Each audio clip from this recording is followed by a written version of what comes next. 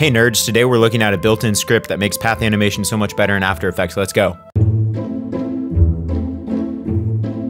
To load the script, you go to Window, Create Nulls from Paths. So it'll pop up this little box here with three options. You're gonna wanna draw a shape layer or a mask that has a path. I created this square shape layer and converted it to a path so we have these individual points. Any shape with a path property should work for this. So this first option, points follow nulls, will create null controllers for all the different points on your path.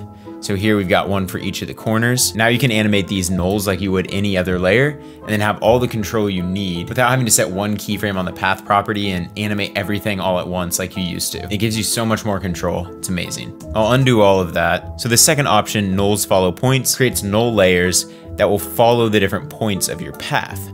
So this actually operates in reverse of the other one. So if I drag this path then we go back to our nulls, you can see the null is attached to that. This could be handy for attaching different objects to the points on your path, or I'm sure there's plenty of other ways that this is useful. I don't use this one nearly as much. The last option, trace path, will give you a nice little rig that animates a null along your path.